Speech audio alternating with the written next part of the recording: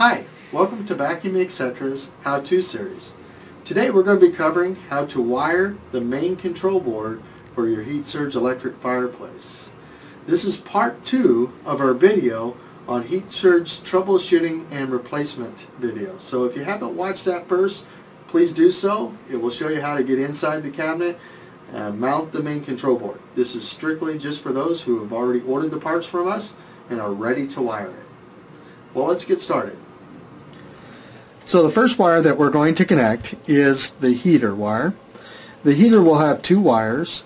You're going to follow the top wire out and when you look at the board you're going to find flame then 750 watts 750 watts the 750 watts one spot of this wire gets plugged into the second one follow this out to the second 750 watts one of these will operate the heater on low. Both of them combined will operate the heater on high. And it does not matter which wire gets to where as long as they're both plugged in. Next we're going to wire up the fan. The bottom wire is typically the shorter of the two wires from the fan. The top wire is typically the long wire. Again, just like the heater, it will not matter which one's plugged into where, but the short wire will go on to the fan port of the board where it says fan, so plug that one in. The long wire is the neutral wire and that gets plugged into the back of the unit into the neutral slots. There are several spots for neutral. It does not matter which one this gets plugged into. I just like to start the fan in the first slot.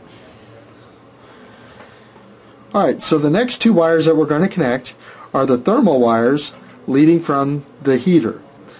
Again, also, it does not matter which one gets plugged into where but one is going to be plugged into ACL1 the next will be plugged into ACL2 so we'll plug this one into ACL2 here. This one uh, the shorter plug this one into ACL1 the white wire leading from the thermal top of the heater will plug into the neutral side. I'm going to plug this into spot number 3 that's how the factory does it. Just like that since I'm here, I'm going to go ahead and plug our cord neutral into the second slot there.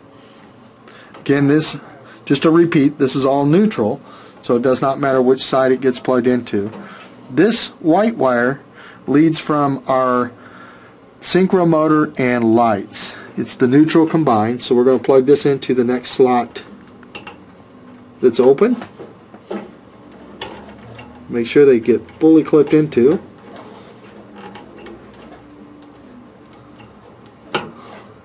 Just like that. Finally, we're going to plug in the power. This is going to come from your tip switch. From the top of the tip switch followed all the way down to ACL3, which is the last slot on the main control board. Now this leaves just two more wires to connect, possibly three depending on the model that you have. Now, one of these is a flame motor, which is the synchro motor, and the other one's the lights. This particular machine, the yellow wire, as with most of the machines, the yellow wire is the lights or lamp. When you get your new main control board, uh, it is designed for either the, the lamp models or the LED light system. So if yours has the LED light system, it's a black plug that plugs into here and you will not have this yellow wire. So this one has lights regular light bulb, so we're going to plug it into the lamp section right here. The brown wire is the synchro motor, which makes the flames, and that's where that flame spot comes into play. And that plugs right into there.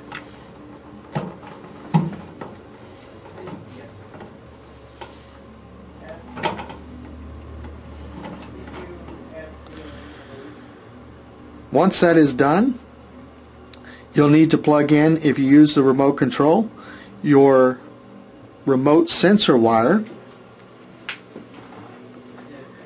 And in this particular unit, the remote sensor wire is going to have a red connection. And that will simply plug into the red spot right here.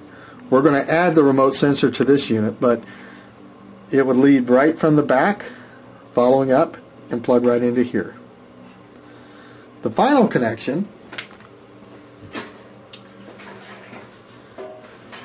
will be your keypad circuit board, which will plug right into the long white connection right here. And then you're done.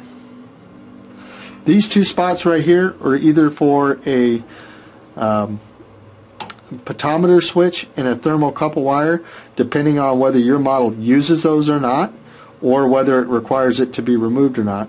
This particular unit that we're working on is a 2008 ADL MX, so it required us to remove the thermocouple wire.